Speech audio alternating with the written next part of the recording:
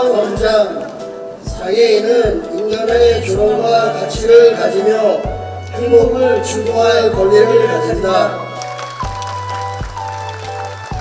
네, 김포시장 정하영 네 축하드립니다. 큰 박수 주시기 바랍니다.